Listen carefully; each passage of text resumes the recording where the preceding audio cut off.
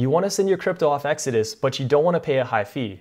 I already made a video on how to reduce the cost when sending off Exodus, but a lot of you are telling me this feature doesn't work anymore, Exodus must have removed it, and can you please look into it? So today I'm making an updated video on how to transfer your crypto off of Exodus and avoid those high fees. Go ahead and log into your Exodus.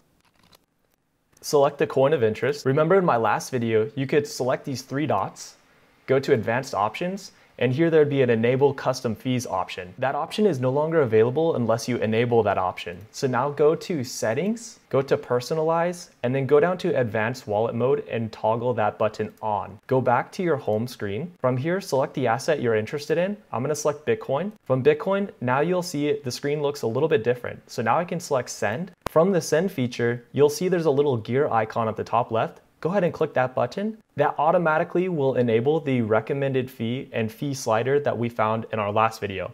Now you can scroll this down to lower the fee, or you can scroll it up to make your transaction a little bit faster. So hopefully that helps everyone out. Thanks for tuning in to Allan Ryan. Make sure you like and subscribe to the channel, and I'll see you next time.